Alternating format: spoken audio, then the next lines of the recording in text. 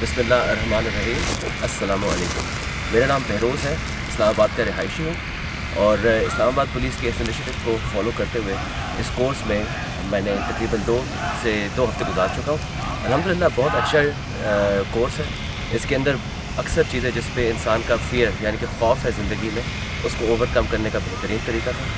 Fitness के लिहाज से बहुत अच्छी ट्रेनिंग हुई। और फियर यानी कि जो खौफ था उसको ओवरकम करने के लिए हाइट से और पानी से बहुत अच्छे तरीके से और अच्छे इफ़ेक्टिव तरीके से इसको पूरा किया गया।